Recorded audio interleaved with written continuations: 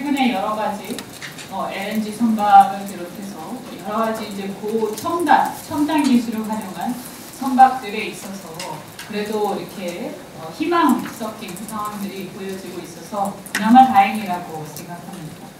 다만 이제 사실은 어, 수소 경제라는 것은 이제 시작에 불과하기 때문에 이것이 과연 어, 정말 경제성을 가질 수 있을 것인가 그리고 실용화되기까지 여러 가지 난관이 있을 수밖에 없다라고 생각을 합니다. 어쨌든 수소도 결국은 물을 끓여서 어, 이렇게 어, 융합을 하는 과정들을 거쳐야 되는 것이고 그런 과정에서 결국은 어, 이 전기, 전력의 에너지가 굉장히 많이 듭니다. 어, 그런 의미에서 저는 개인적으로 어, 이 문재인 정부에서 이 탈원전 정책에 대한 재검토가 반드시 필요하다라는 어, 제가 제언을 좀 드리고 그래서 우리가 이 에너지의 자극 그리고 에너지 안보를 어떻게 어, 유지할 수 있을 것인가라는 관점에서 어, 이런 것들이 이제 수소 경제하고 어, 따로 가기가 어렵다고 저는 개인적으로 판단합니다. 이제 좀 미래를 내다보면은 이제 2015년 파리 교변 협약이 체결이 되면서 결국은 이제 환경 규제가 강화되고 있고 또 IMO에서도 뭐 이제 CO2라든가 황산화물과 같은 어떤 규제를 지속적으로 좀 강화해 나갈 계획으로 되어 있습니다. 결국 우리가 이런 역경을 극복해 내기 위해서는 결국 이제 수소 경제로의 이행과 수소 선박의 육성이 필요하다고 어, 생각을 하고요. 어, 작년에 이제 정부가 수소 경제 육성을 위해서 어, 이제 3대 혁신 성장 중의 하나의 분야로서 이제 수소 경제를 선정을 하고 그것을 육성하기 위한 어, 방향을 제시를 했습니다. 아, 그리고 이제 올 1월에 네, 이제 산업부에서 어, 수소경제 이행 로드맵을 발표를 했고요. 어, 지금은 이제 그 이행 로드맵을 실행하기 위한 세부 방안을 지금 뭐 마련 중에 있습니다. 그래서 지구 온난화를 방지하기 위한 국제 환경 규제 등 어, 궁극적으로는 수소 에너지 시대를 이끌고 있습니다. 2050년에 이르면 전체 에너지원 공급에 있어서 약 40%를 수소가 차지할 것으로 전망이 되고 있습니다. 차량과 발전 분야를 중심으로 2030년대 중반 이후에는 전 산업 분야에서 상용화 기술 확보가 예상이 되고 있습니다. 특히 조선해양에서는 수소의 대량 운송을 위한 액화수소 운송선 그리고 친환경 수소 연료 선박에 대한 상용화 수요 증가가 가시화되고 있습니다. 어, 글로벌적으로 어, 이루어지고 있는 어, 수소 경제에 에, 부응하기 위해서 우리 정부도 어, 수소 경제 구축에 대한 강력한 의지를 표명을 하고 있습니다. 중앙정부는 정부 3대 전략 투자 분야로서 수소 에너지를 선정한 바 있으며 산업부는 수소 경제 로드맵을 발표를 하고 세계 최고 수준의 수소 경제 선도 국가로 도약을 하기 위한 여러 가지 정책들을 발굴을 하고 있습니다.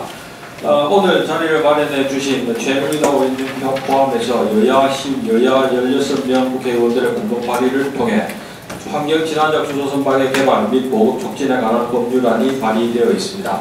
주요 내용 내용으로는 친환경 수소 선박 개발을 위한 개발 및 보급을 위한 기본 계획 수립 그리고 기본 계획 추진을 위한 위해서 매년 시행 계획을 수립 혹은 추진하게끔 어, 공고하고 있습니다. 수소 경제는 수소를 주 에너지원으로 활용하기 위한 에너지 value chain이 구축된 경제 체제를 이야기를 합니다. 에너지 value chain이라 하면 에너지 생산에서부터 에너지의 저장, 운송, 그리고 에너지 소비를 아우르는 전 과정이 하나의 경제 체제 내에서 형성될 수 있는 것을 이야기를 합니다. 아, 생산에 관련돼서는 석유, 화학, 재생에너지, 천연가스 등으로부터 수소 생산이 가능, 지금 현재도 가능합니다. 그리고 파이프라인이나 퓨브제일러, 테크로리 등을 이용한 수소 저장 운송 이렇게 운송된 수소들이 발전이나 가정, 건물, 수송용으로 에너지로서 활용이 되는 어, 단계를 거치면은 어, value chain이 완성을 할, value chain을 완성할 수 있게 됩니다. 조선 해양 산업이 이러한 수소 에너지 value chain에 기여할 수 있는 부분은 국가 간의 수소, 수소 운송의 주요한 수단으로 어, 사용될 수 있는 수소 운반선 국가 간의 수소 운송이라 하면 국내의 수소 수요가 공급량을 초과할 경우에 필연적으로 해외 생산 수입이 필요하기 때문입니다. 어, 일본이 추진하고 있는 내용에 대해서 우리도 충분히 벤치마킹을 해야 될 필요성이 있다고 보여지기 때문입니다. 일본은 어, 수소 에너지 체인, 어, 수소 에너, 에너지 value chain을 완성하기 위해서 생산력과 수소 저장 공급에 대한 full chain을 구성을 하고 있습니다. 실제 일본은 어, 에너지 부족국이 때문, 부족국이기 때문에 세계 각지에서 수소를 운송할 계획을 세우고 있습니다. 2010년에 가스 연료로 에너지가 전환됨에 따라서 이 시기에 우리나라는 LNG를 배경으로 하는 기반으로 하는 세계 1위 조선국으로 어, 올랐을 수 있게 되었습니다. 이때 우리나라 조선산업체가 설정한 전략은 first mover 전략이 되겠습니다. 연료의 형태가 아, 변화되면서 2030년부터는 수소 에너지가 아, 가장 유력한 에너지로 거론이 되고 있습니다. game changer 어, 전략으로 어, 전략 수정을 해야 될 때가 왔다고 보여집니다. 에너지의 변화에 맞춰서 조선 그리고 에너지 산업 그리고 항만 인프라가 연계된 융복합 기반 어, 산업 생태계가 조성이 된다면 이러한 산업 생태계 속에서 우리나라가 100년 조선해양 강국으로 우뚝 설수 있을 것으로 어, 예상이 됩니다. 궁극적으로 어, LNG 이후의 어, 시대는 전기나 이 수소 연료를 써야 되는 것으로 가지 않을까 아, 생각이 예, 들고 어, 있습니다. 근데 이제 그 많은 사람들이 이제 그 이야기를 합니다. 지금 수소 경제하고 뭐 우리 문재인 대통령께서도 수소 수소 경제한다고 막 그랬습니다. 그러면 아니 뭐 전기도 마찬가지지만 수소 어디서 얻을 건데 하는 것들의 질문이 딱 그런데 그 현재까지 지금 수소와 전기는 날짜로서 화석연료 떼가지고 없는 수밖에 없습니다. 그러니까 많은 사람들이 수소 경제를 한다고 그랬을 때, 아, 그러니까 수소 또한 화석연료를 써야 되는 거고, 화석연료 따라서 CO2 나오는 건 분명한 거 아니에요. 근데 그것을 얼마나 효율적으로 제어하고, 궁극적으로 나중에 가서는 제로로 가는 상태까지 만들 수 있는 것들이, 될 수 있는 것들이 갈 것이다. 라는 그런 희망을 가지고서 또 그렇게 해야 될 수밖에 없습니다. 인류가 살아가는 그, 이 지구 보존의 지구를, 환경을 보존해서 같이 살아가기 위해서는 그런 측면에서 이렇게 쳐다봐서 앞으로 수소 이 경제가 될 것이다라는 측면을 제가 이제 좀 말씀을 좀 드리고 싶은 거고요. 수소 연료를 떼고 가는 선박일 것이다. 그 다음에 우리가 다, 또 다른 이그 blue 시장으로 보는 거는 수소 연료를 운송하는 선박, 그건 뭐 얄짤 지금 LNG 선박도 LNG 연료를 떼어서 가는 선박이 있고, 그 다음에 LNG 운송 선박이 있고, 그렇지 않습니까? 그래서 그 시장이 분명히 열릴 것이다. 2030년 이후에는 분명히 열릴 것이기 그 안에 그 기술, 그 기술을 준비하고 단계 준비, 준비하고 있으면은 우리나라 조선 해양 시장에 있어서 수많은 경쟁력이 생길 수 있고 앞으로의 그 어, 잡도 많이 창출할 수 있을 것이다 라고 하는 측면에서 이, 이 이런 관점을 쳐다봐야 될 필요가 있다. 이게, 이게 수소가 또 지금처럼 LNG 가스를 바로 떼가지고 가는 것처럼 수소 가스를 바로 떼서 이렇게 내연기관을 돌리냐 하면은 그거 저는 아니라고 봅니다.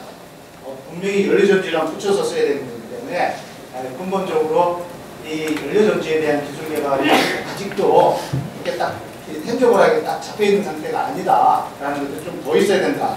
조선해양에 있어서의 기본적인 실력들은 빵빵하게 있습니다. 그 빵빵하게 있는 기술 뭐 거기에 대해서는 가장 중요하게 가지고 있는 게 저는 사람이라고 보고요. 그 다음에 뭐 인프라도 어느 정도 가지고 있는 것도 있고 그런 걸 바탕으로 해서 새로운 패러다임을 변화하는데 빨리 적응할 수 있는 것들이 필요하고요. 그 다음에 뭐 어떤 것들이 무슨 일이든 시작하려면 목표를 달성하기 위해서는 전략을 수립하는 것들이 굉장히 중요하기 때문에 어, 오늘과 같은 이런 국회 어, 최영위원께서 어, 말해 주신 이런 자료를 통해 가지고서 법 제도라든지 인프라 기반 구축이라는 유관 산업, 그 다음에 유관 산업도 좋지만 유관 학문입니다.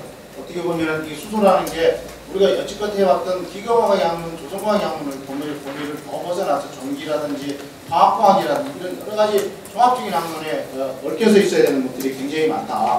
그래서 그런 것들이 다 어울리는 전문가들이 어, 또 고체계적인 이, 이 기술 전략을 어, 수립해야 될 필요가 있다는 생각으로 거기에 따라서 어, 단계적으로 기술력을 어, 확보를 해야 돼, 해서 어, 최종적으로는 궁극적으로 이거 바라는 것입니다. 그러니까 진정한 탄소화를 실현할 수 있게끔 연료의 생산과 저장과 이송과 공급 그 다음에 사용에 가는 전 생애 주기를 고려한 진정한 친환경 선박 기술을 개발을 해서 하면은 그것이 뭐 단계별로 뭐 2003년도 범죄하고 4년도 범죄 이렇게 개발이 되면은 그것이 어, 우리나라 산업계에 바로 잘 쓸 수 있고 그 다음에 그걸로 인해 가지고 우리나라 어, 이 산의 질들을 훨씬 더 개선해 나갈 수 있지 않을까 생각하고 있습니다. 예, 이상-